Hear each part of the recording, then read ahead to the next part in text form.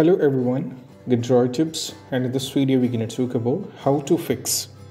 Last epoch is having login issue or it is completely can't log in online or you're having an issue such as connection issue or you're stuck on connectivity and also you're stuck on online screen and if you're having can't play online error which is happening for many of these right now and how we can fix this up. So let's dive into the workaround. The first one is all about when you are having this trouble we have to cross check that the first step is all about we have to verify integrity of game file.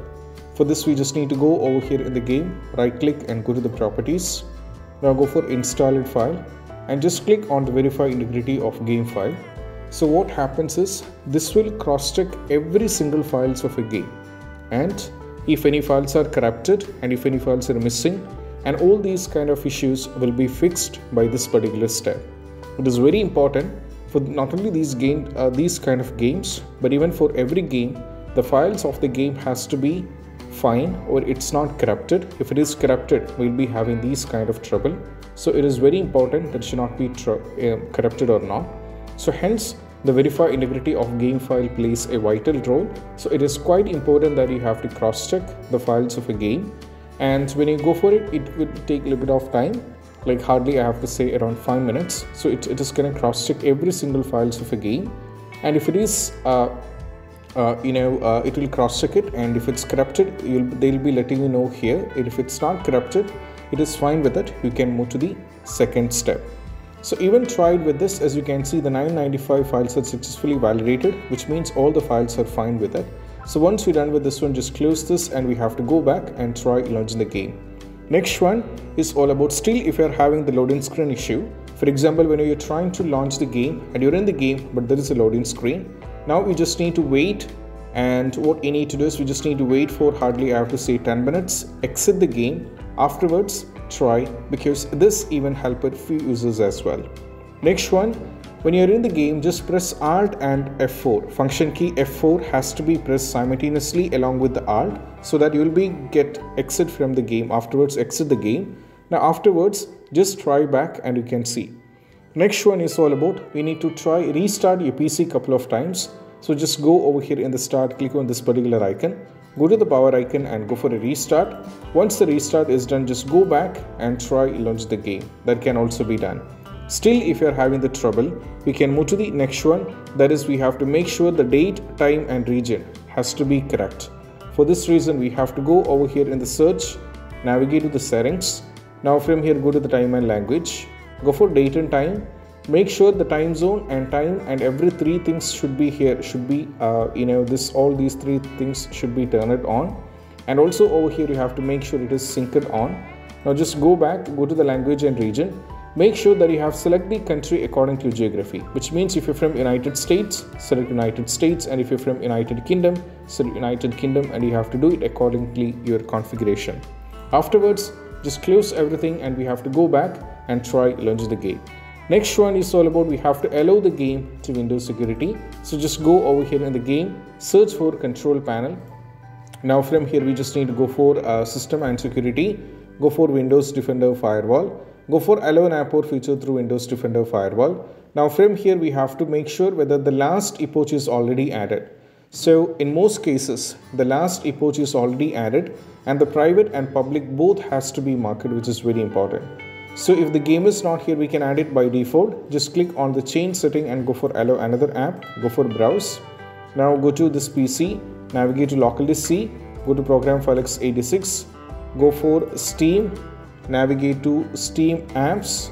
Now we just need to go over here and go to the common. Now scroll down and navigate to the game last epoch. Keep scrolling down. Go to the game select this one and go for open. So hence the game is already added it is fine for me. But if the game is not there we can add it by default and make sure both the private and public both has to be marked. Once afterwards just close everything and we have to go back and try launching the game Next one is all about we have to enable uh, disable the manual proxy. Just, just go over here in the search and navigate to settings. Now from here we just need to go for network and internet. Now go over here in the proxy and if the uh, you know the proxy is being turned on or if it is set up if you're having the proxy it will be set up or it will be turned on so if turn it off and once afterwards just go back Next step is all about nothing but we have to run the network troubleshoot. Just go over here in the search and navigate to the settings. Now from here we have to go for network and internet. Now we just need to go for advanced network settings. Now from here we have to go for uh, over here. We just need to cross check whether you are having the issue or not.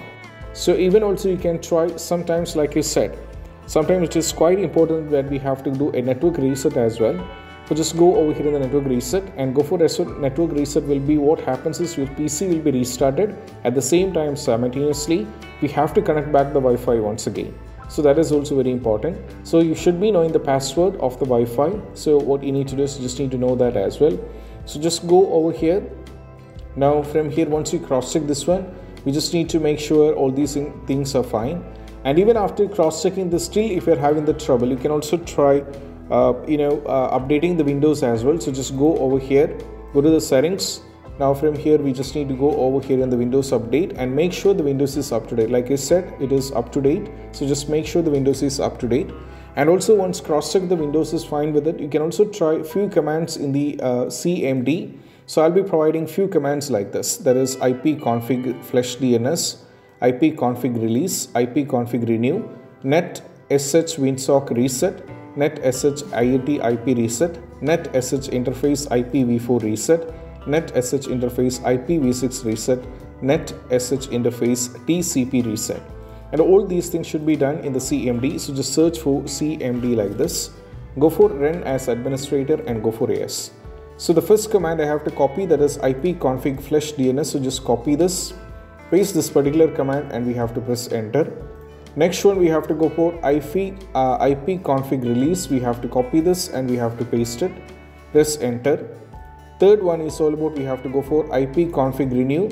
Just copy this and we have to paste it and press enter.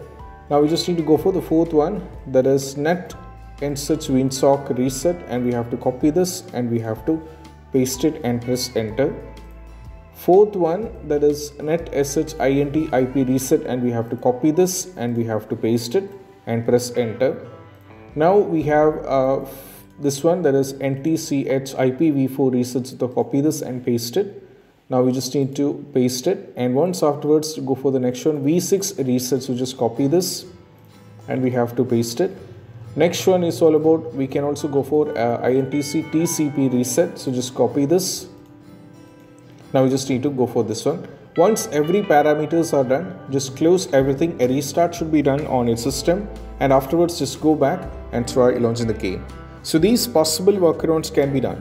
And also even after trying with this, if you're still having the trouble, you can try uh, switching to the uh, switching to a new network. For example, as you can see, over here in the Wi-Fi, I have already connected to a connection FTTH2 uh, 290954 just disconnect it and connect to a new network and you have to cross check sometimes you know it might be an issue with the network so these possible workarounds can be done and i hope this video is helpful. And if you find this video helpful don't forget to subscribe and click on the bell icon for more notification. See you soon in the next video. Peace out. Bye bye